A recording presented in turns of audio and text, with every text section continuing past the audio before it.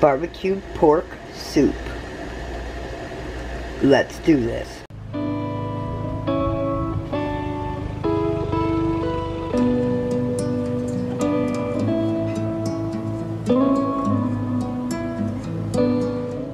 Hello, hello, hello you guys and welcome back to my kitchen.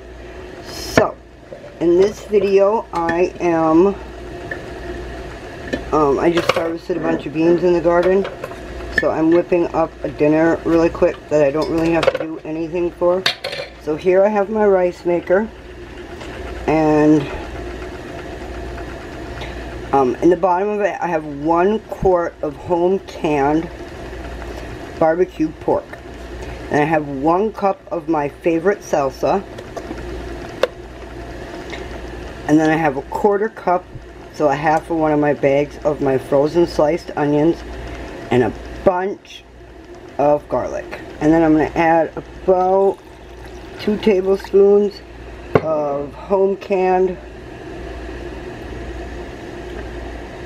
veggie stock and it's a tomato based veggie stock all mine are Oh yeah, and there's one tablespoon of honey in there also. So, I just turn it on, I put it on white rice, I add all my ingredients. Um, there's the fat in there from the top of the barbecue pork jar. And then I'm also going to add either a tablespoon of butter or a tablespoon of lard, whatever I have out. And then I'll close the lid and I'll cook it for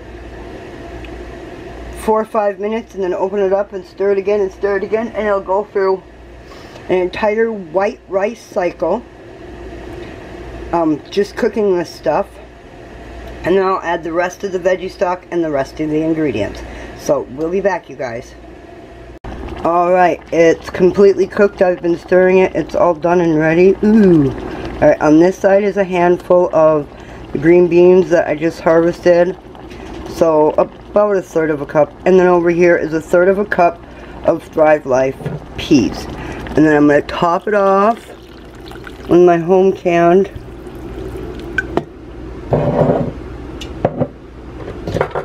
um, veggie stock.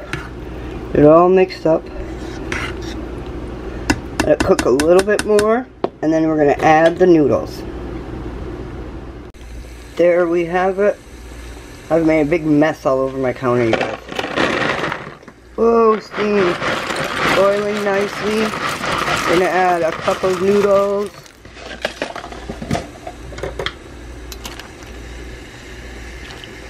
To make kind of like a barbecue pork um, spaghetti hot dish type like soup. Just a bunch of stuff I threw together. So I think that's what we're to call it. A bunch of stuff I threw together soup. There we go. Alright guys, we'll be back. There we have it you guys. It actually ended up turning out more like spaghetti hot dish than a soup. But who cares? My family will devour it with no problems. Alright, thanks for coming along on a quick, fast meal, I just used my rice cooker and left the lid open and let it cook. Alright guys, we'll see you in the next one. And remember, stay positive. Bye. Bonus footage. I brought you back to show you a plate so that you can see it all nice and spread out. Peas, um, onions. The onions took on quite a bit of the color. And then some bread.